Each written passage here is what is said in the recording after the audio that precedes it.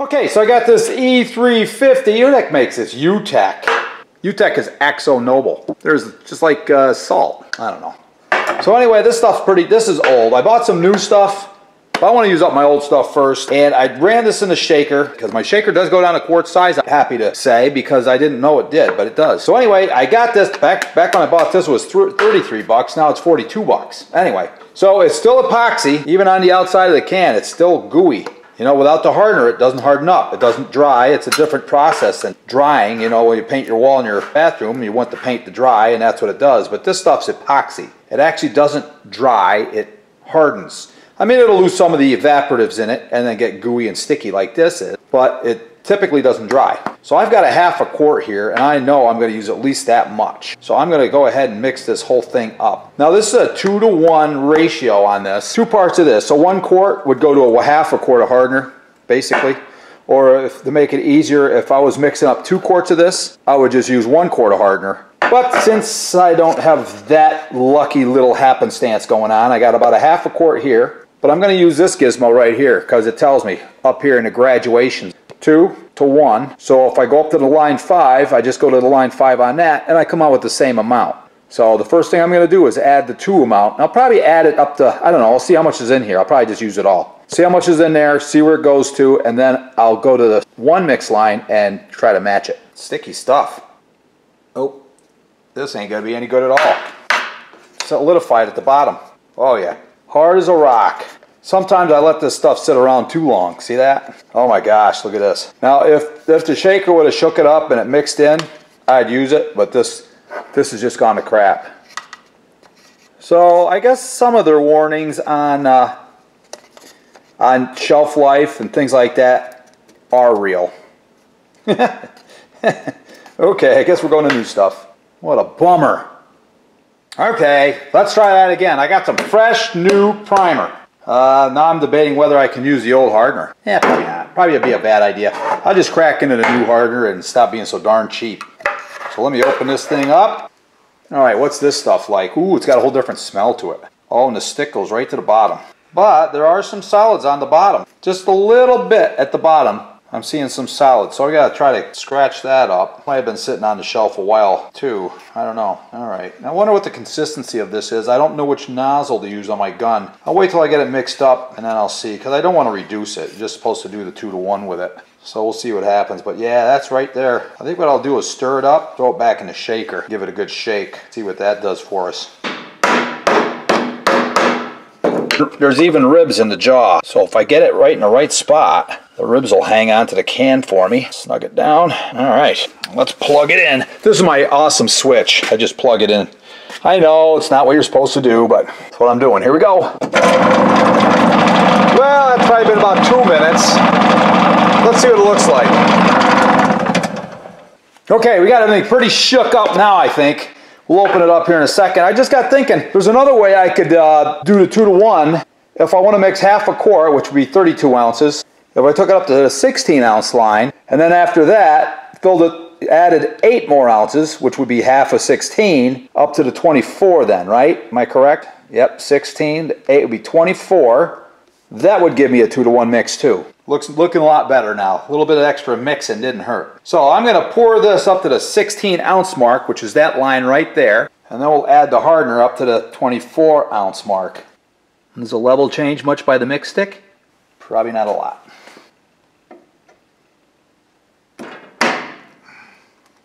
Need put a hole in the rim of the paint can. That way it'll, all the stuff that's in the rim now will drain back into the can itself. And it really doesn't affect the way they close. So I think that's a good idea.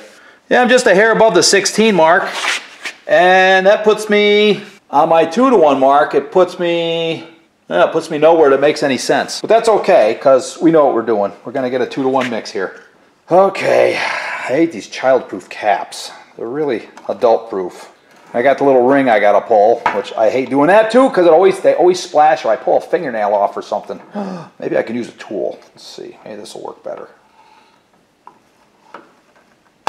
Oh, it did. Okay. Right up to the 24 mark. Maybe just a hair more because my 16 mark is high too. Yep, that'll do it.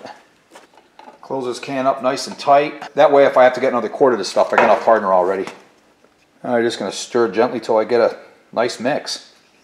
La la la la la la la la la la la la. Ooh, doesn't mix down very thin. It seems like it's gonna be kind of thick. Uh-oh, I'm not sure what to reduce it with. Probably a little universal urethane reducer.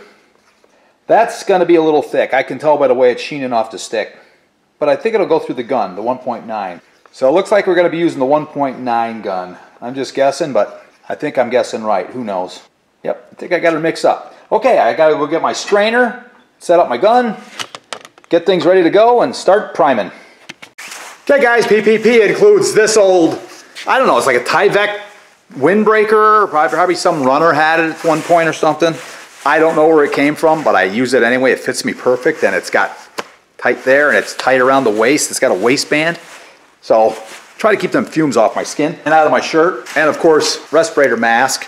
Try to keep most of the junk out. I know one thing, if I use this, which I have to use it, when I use this, I don't wind up feeling high as a kite after using this stuff because, you know, these solvents, uh, they, uh, they get to you. And I'll probably throw my hat back on to keep my hair back. So PPP or TPP, what is it? PT, I don't know what it is. Anyway, a little bit of protection.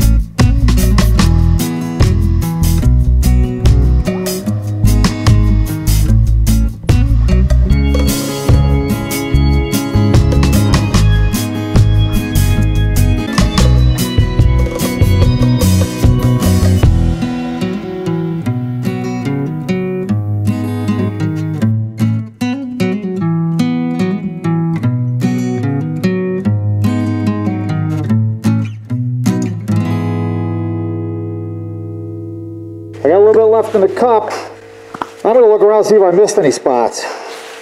Well, looks like I got the thing pretty well coated. One coat, like a medium to heavy coat. I think that's good enough. Got all the bare metal coated, and I got 72 hours to top coat it before the end of the world. Yeah, you don't have to sand this stuff if you can avoid it, so. If you stuck around this long, like, share, subscribe.